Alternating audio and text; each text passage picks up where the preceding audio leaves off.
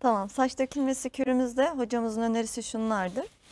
Ee, üçlü bitki karışımıdır ve testere dişli aslan pençesi vardır. Bir de onlu bakım yağını veriyoruz biz burada. Üçlü bitki karışımı dediğimiz bizim ısırgan, ceviz yaprağı ve lavantadır. Bunu saçlara dökülmesi gerekiyor. Onu da şu şekilde hazırlamaları gerekiyor burada. 750 milimlik kaynamış olan suyumuzun içerisine bunu bu şekilde ayarlasınlar. Bir yemek kaşığına tekabül ede- edecek şekilde ayarlasınlar bunu. Şimdi bu yağlanmaya bağlı saç dökülmesi, hormon dengesizliğine bağlı saç dökülmesi mesela bazı bayanlarda erkek tipi saç dökülmesi olur önden. İşte bu kürü uygulasınlar.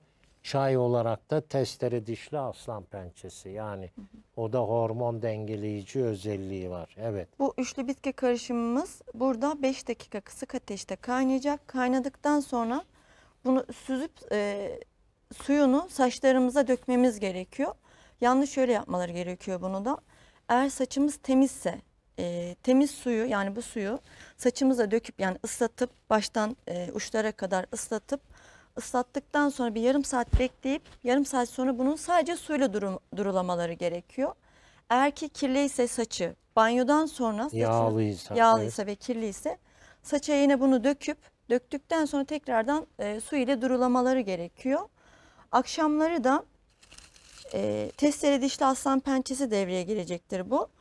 Burada da yine kaynamış olan bir su bardağımızın içerisine bir yemek kaşığı şeklinde, bir tutam şeklinde de yapabilirler bunu burada.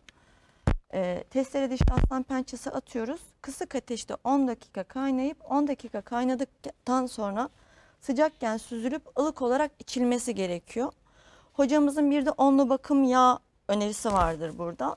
O yağı da saç diplerine bunu masaj yaparak uygulamaları gerekiyor. Yarım saat ya da 45 dakika bekledi, bekledikten sonra bunu da e, yine yıkamaları gerekiyor. Bunu da haftada bir kez uygulayacaklar bu saç bakım yağını. Yani şey de yapabilir. İşte internete girip oradan siteden tarifini daha detaylı alabilir, sorabilir.